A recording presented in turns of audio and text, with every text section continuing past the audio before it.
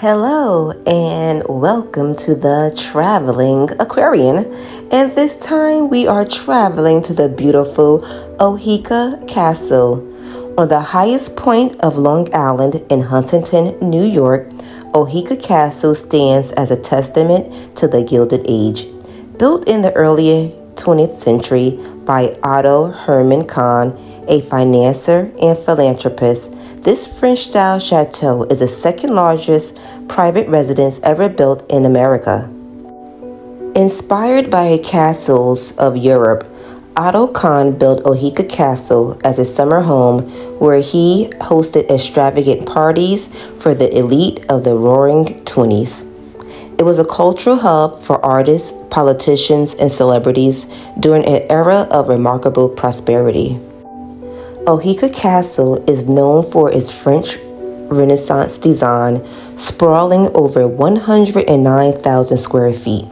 The estate features 127 rooms designed with formal gardens reflecting lavish lifestyles of its original inhabitants.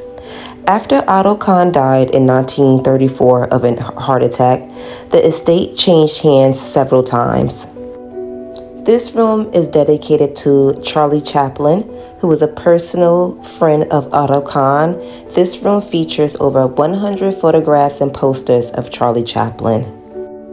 In 1948, the Eastern Military Academy bought Oheka, bulldozed the gardens, subdivided the rooms, and painted over the walls.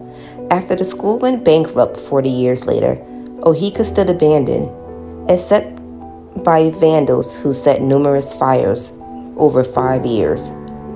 Gary Melius purchased and began restoring Oheka to its original splendor, a process that continues to this day. Inside the castle, you will find artwork, ornament furniture, and handcrafted decorations, many restored to their original state.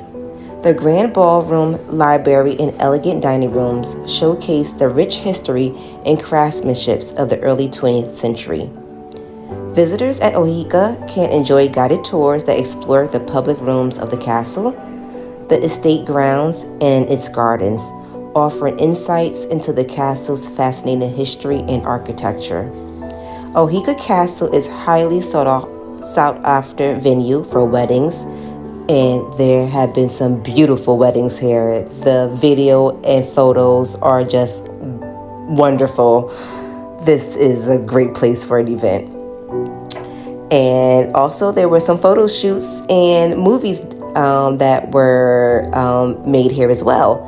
The castle is open to the public for tours, which is available by reservation. It must be it's a must visit for anyone who loves history architecture and anyone looking to experience a piece of history. And like I always say, when you live somewhere, you should always see what history lies in your own backyard.